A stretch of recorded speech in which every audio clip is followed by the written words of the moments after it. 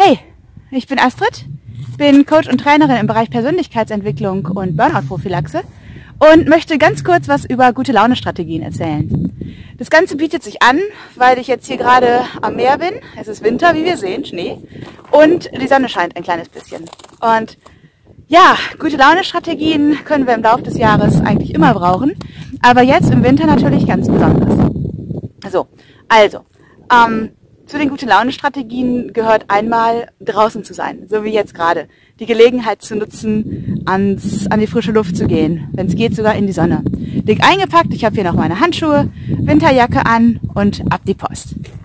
Oder ähm, auch Farben. Farben sind was ganz Wichtiges, was ganz Wertvolles.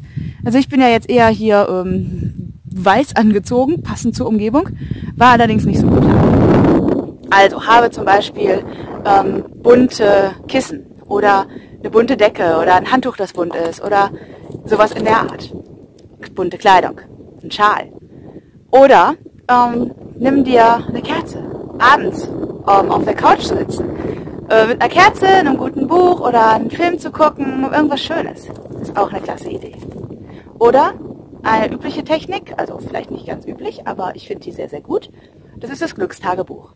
Das heißt, du schreibst dir immer deine Komplimente auf, die du bekommst. Oder wenn du was Schönes gesehen hast. Also für mich zum Beispiel gehört ganz klar dazu, jetzt hier das einmal alles so im Schnee zu erleben. Denn das gehörte ähm, ja eigentlich seit, seit immer schon auf meine Wunschliste, weil ich halt Fotos gesehen habe, aber es nie erlebt habe. Also einfach so Glücksmomente zu erleben. Ich habe dir ein kleines Übungsheft dazu erstellt, dass du dir hier genau unter dem Video runterladen kannst, also auf den Link klickst und runterladen kannst. Hm, einfach, damit auch du deine gute Laune-Strategien im Laufe des, des Jahres auch ähm, für die trüberen Tage einfach schon vorbereitet hast.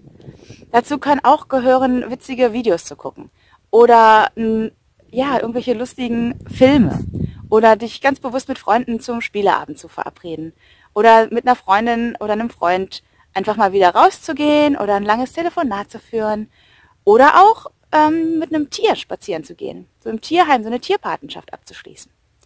Ja, also, das war jetzt ein kurzer Überblick. Lad du dir jetzt, wenn du magst, hier unten die Datei runter, like das Video und ja, alles Gute für dich. Bis dann. Ciao. Deine Astrid.